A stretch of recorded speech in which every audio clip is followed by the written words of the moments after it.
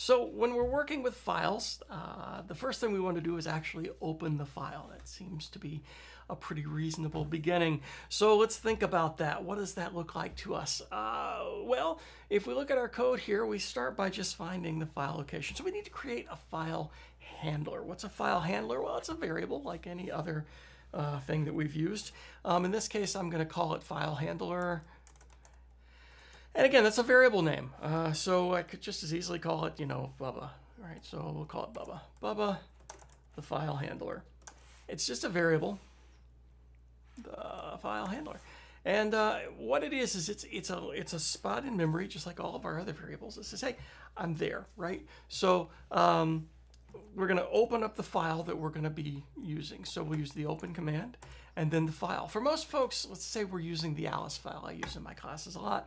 Uh, it might be something as simple as alice.txt. This assumes that the file you're opening is in the same directory as the um, the program that you're writing, right? If it's not, if it's in some other directory, like in my case, you may have to do something a little bit longer. So you can see I'm just doing the whole file directory there um, but you can see it's still got the file name there at the end.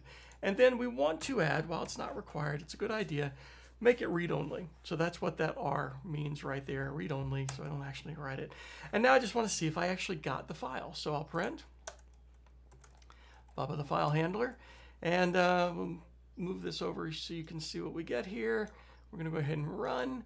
And we get this line right here, IO, text wrapper, yada, yada, yada, yada, yada. So that actually is telling us we found the file.